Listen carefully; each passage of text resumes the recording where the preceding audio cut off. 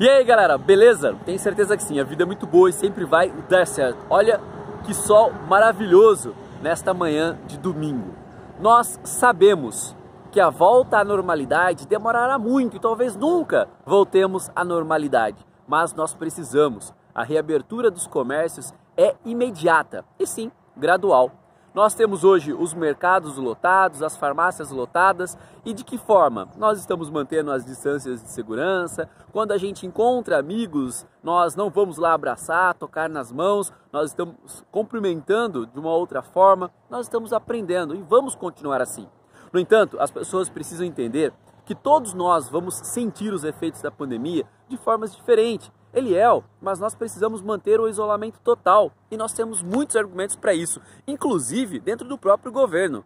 Nós temos, por exemplo, o ministro da Saúde, o Mandetta, querendo o isolamento total. O ministro Moro apoiando. O Paulo Guedes, como cidadão, apoiando.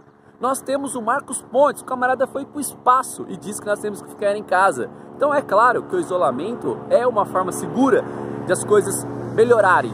Só que nós já estamos há mais de 15 dias no isolamento e nós precisamos voltar, porque senão o governo vai ter que, continu vai ter que continuar custeando, eh, de repente, programas sociais que já faz e vai ter que começar a ajudar de forma efetiva pessoas que até agora não estão nos cadastros por não precisar. Então, é necessário que a gente pense sim na reabertura dos comércios de forma imediata e não só é, de repente dos essenciais colocados nos decretos, mas as pessoas, os cabeleireiros, manicures, a, mecânicas em geral, tudo voltar a funcionar. E é isso que eu tenho falado. E não é algo, quando a gente fala isso, ah, Bolsominion tal, a gente não defende o governo Bolsonaro até embaixo d'água. Nós aplaudimos os acertos. Eu sempre digo, quando a gente aplaude os acertos, as pessoas dizem é, Bolsominion. Quando a gente critica, é porque você é petista. Nós estamos nos extremos.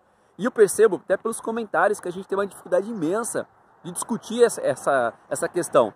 E a maioria das pessoas dizem, logo, você não é médico, você não é infectologista, como que você vai é, discutir isso? Então, você não tem uma lógica para construir a argumentação. Mas nós temos, nós estamos vivos. E claro, a saúde é muito importante, os infectologistas e todos o que estão dizendo. Eu estou falando de um plano de ação, não é uma rebeldia. Ah, vamos abrir tudo. Não, nós estamos seguindo as autoridades e os conselhos. Por exemplo, agora estou gravando esse vídeo enquanto retorno do meu trabalho por conta desse sol maravilhoso que eu estou vendo. E como tenho pensado nisso e comecei a defender a causa e vou até o final sobre essa reabertura do comércio, eu quis gravar essas palavras para vocês.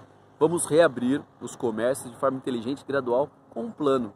E todos nós que estamos com medo, com pânico ou dizendo que só somos cautelosos, vamos ter prudência na hora da fala, porque a pandemia vai passar, esse período passará, mas aqueles insultos eles ficarão gravados e quantas amizades desfeitas por tão pouco, só pela paciência e pela capacidade de ter serenidade na hora de ouvir o outro. Estamos juntos, a vida é muito boa e sempre vai dar certo.